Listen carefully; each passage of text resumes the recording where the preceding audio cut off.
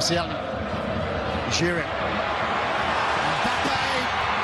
Straight through the legs. And somehow that stayed out. Lovely touch by Giroud to open Wales up. A combination of goalkeeper and crossbar. Just enough to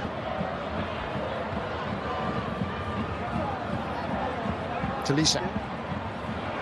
Griezmann! What a brilliant finish! Hennessy perhaps should have done better, but there was an element of surprise in that French attack. Just got half a metre on Ben Davies. Excellent finish, but Hennessy should have saved. France 1, Wales nil. Antoine Griezmann with his 19th international goal.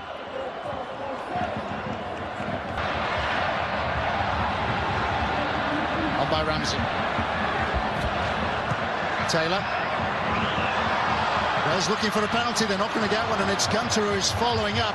Tolisso.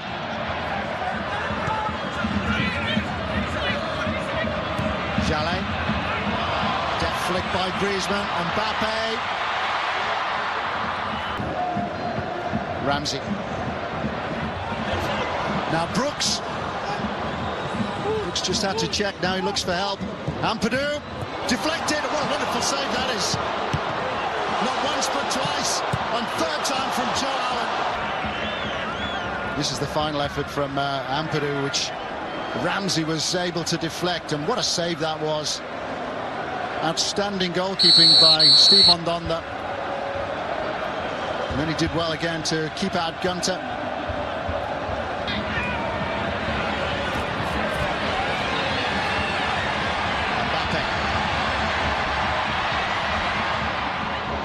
Giroud.